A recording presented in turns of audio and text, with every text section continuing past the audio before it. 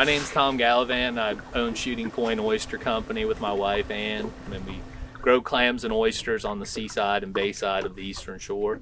Our main operations are based out of a little hamlet called Bayford, which is on the Nassawadox Creek.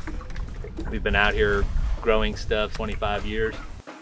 I grew up working on the water. My dad was a commercial fisherman in Cape Cod when I was a little guy. Have a degree in aquaculture from University of Maine.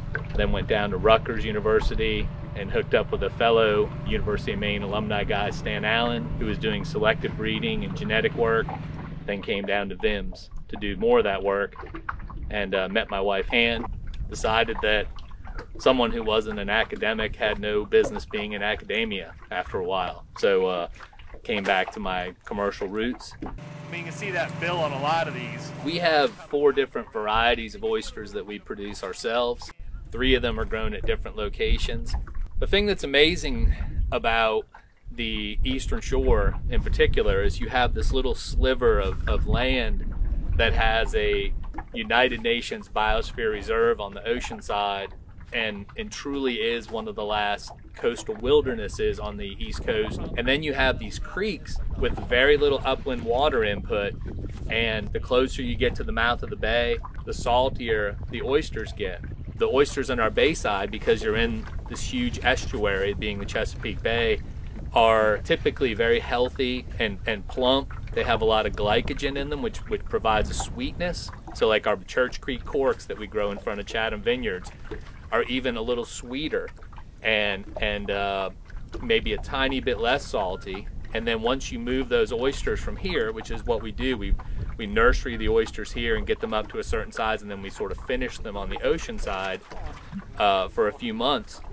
Those oysters really take on a, a, a really pure salt flavor. The finish on our oysters almost is a little bit sweet and it's very abrupt my name is Heather Lusk, and I am fourth generation at HM Terry Company in Willis Wharf, Virginia. We are a family owned and operated shellfish aquaculture company. We grow clams and oysters. The company was started in 1903 by my great grandfather. Our brand is the Sewansecott brand, and it has been that since 1903 or whenever my grandfather started um, selling those oysters. They're a classic seaside oyster, sort of that big pop of brine and then sweet in the finish. Hog Island Bay is a really unique place because it's one of the only areas that's unaffected by any inland rivers. It's just really one of the most um, pristine bodies of water that you can find around. Um, and so we're very fortunate to kind of call that place home for our oysters and our clams almost all of the clams that are produced in Virginia are born right here in Willis Wharf. We're home to three of the Virginia's major clam companies and at least four clam hatcheries that are all along the waterfront here in Willis Wharf.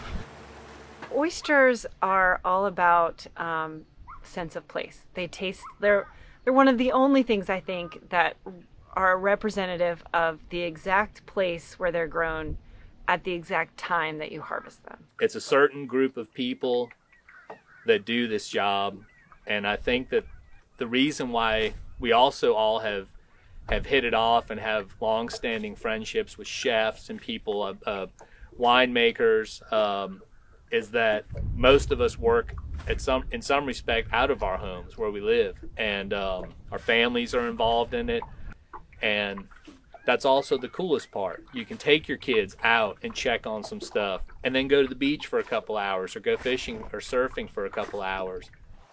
Grew up working in this business, went to college, went to law school, moved to New York City, decided to come home and be in the business because we're making food, healthy food for people, growing healthy food for people in a sustainable way. For me personally, the fact that I get to come here and and be in a place that I love working with all my family, people that I love, um, is I think such a unique opportunity, and it's something that I'm really thankful for and appreciate.